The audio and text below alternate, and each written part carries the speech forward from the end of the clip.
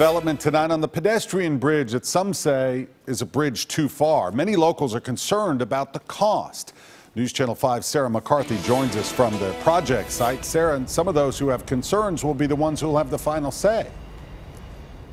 Some officials are concerned about the cost of this project. Now, if you look over here, you can see where this pedestrian bridge will go. It'll go directly over these railroad tracks, connecting Pine Street in the Gulch to an easement that sits next to Cummins Station.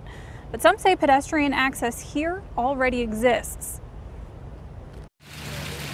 Um, so it feels like Nashville is alive. In a place growing in popularity, It actually creates a better, like more active lifestyle. access is key. It's really wonderful to be able to walk down to the Gulch for lunch options or just like running an errand. A new pedestrian bridge may soon make it even easier to get where you need to go, but it'll come at a cost. I mean, everybody would love $18 million worth of improvement in their neighborhood. Yes, yes, elevator? yes. That's why members of Metro's Budget and Finance Committee met with Public Works to see how a newly proposed plaza would come into play. It's 18 million, and then 2.6 comes out of the 18 million to pay for the for the easement.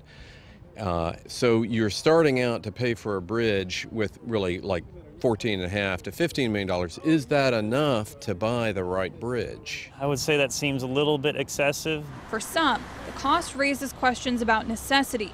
A staircase parallel to the Gulch Crossing building has improved pedestrian access here in the last year. I'm listening for the administration to justify that specific question. I just take the sidewalk, come down here, and it's nice. to get from across the railway to here as opposed to walking one block that way and that way or blocking that way and back. I mean, this is $18 million we could use in other places in the city that desperately need it. While city engineers say traffic may be dangerous and sidewalks are crowded, others say this proposed bridge could be a solution and a step in the right direction. I think the more that we can increase biking and walking, you're going to help cut down a bit on the traffic.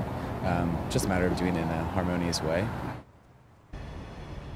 Council members will vote on the second reading of this proposal tomorrow night. It will need to pass three readings to move forward.